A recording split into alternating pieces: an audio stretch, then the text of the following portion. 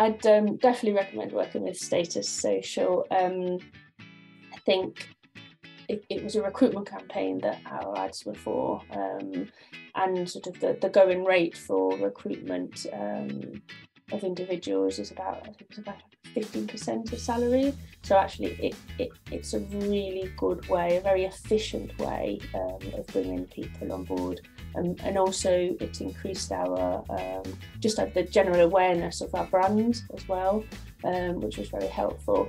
I think if you're going to work with um, Status Social, um, you definitely need to be ready to receive honest feedback uh, that's going to work, and also guess be be comfortable with being held accountable with what you know what what you have to do as as a client uh, for things to work. Um, it's not a sort of a, a one-sided uh, a one-sided relationship.